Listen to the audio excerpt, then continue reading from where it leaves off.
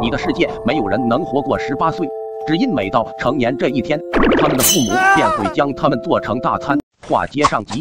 此时安成道正在控制着剔骨刀和异类缠斗。可恶啊！看来是村子里的火把他们吸引过来的。不好了，又来了两只。周凯，你带着诸葛青他们往村子里跑，你不和我们一起过去吗？我去帮安大叔。那我先把他们送过去，然后再过来帮你们。然后我开始回忆之前命运丝线出现时的感觉，随后胸口一阵发热，便出现了一条丝线。我控制着丝线朝着安成道飘去，目的是替他分担疲惫和伤害，毕竟他是我们中最强的战力。当命运的丝线将我和安成道连接在一起的瞬间，我的身体忽然有了一种异样的感觉。这种感觉，仔细的感受了一下，仿佛自己的身体上多了两只看不到的手。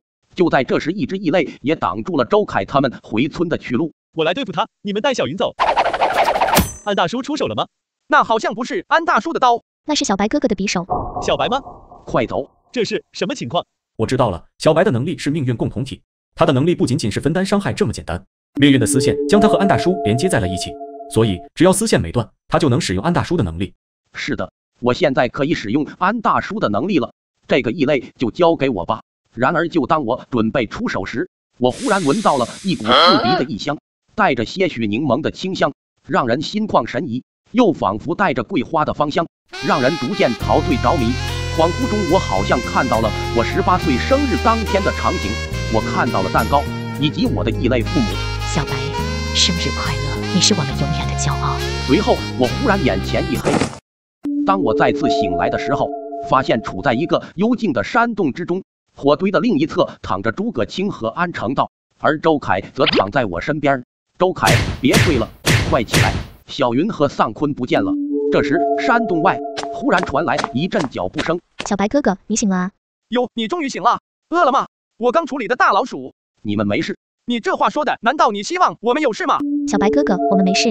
这时，一只异类和一个陌生女孩走了进来。请你不要再继续伤害我的家人了。你的家人？你也是异类吗？小白哥哥，他不是坏人。小白，快把枪放下！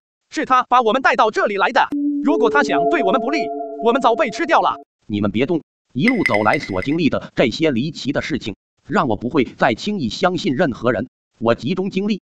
再次仿制出丝线，缓缓飘向了熟睡中的周凯。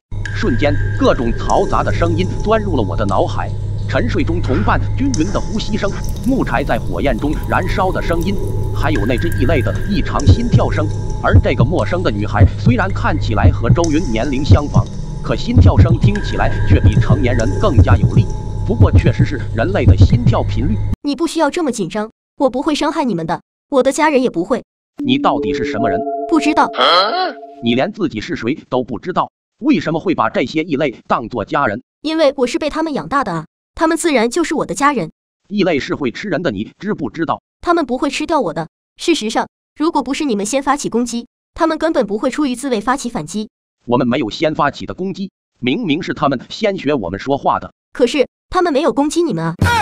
你们看起来很疲惫，虽然我建议你们在这里休息一段时间，不过。如果你们不相信我的话，也可以现在离开。有一个问题，我想请你回答一下，那个让我产生幻觉甚至昏迷的香味是什么？那股让你们昏睡过去的味道，是我的味道。你的味道？